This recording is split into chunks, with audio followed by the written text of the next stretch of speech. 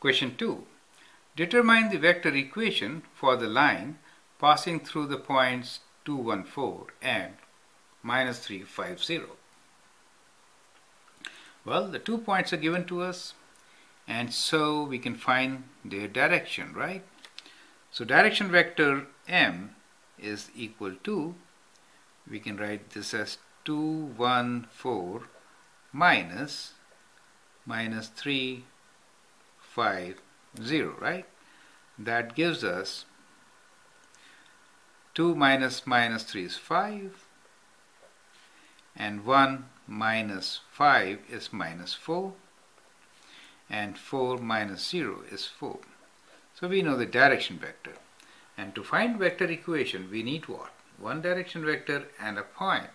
So we can use a point and say r is equal to